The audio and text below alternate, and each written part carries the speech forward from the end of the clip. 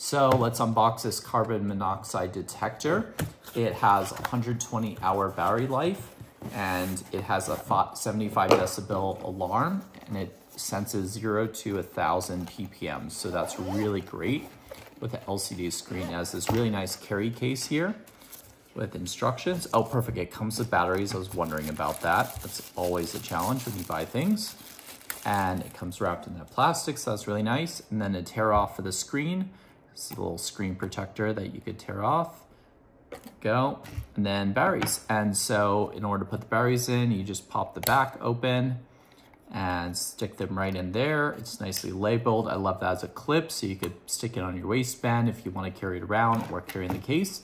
And then some rubberized, really easy, clear uh, buttons. So overall, this is a really cool unit if you're looking for a carbon monoxide detector.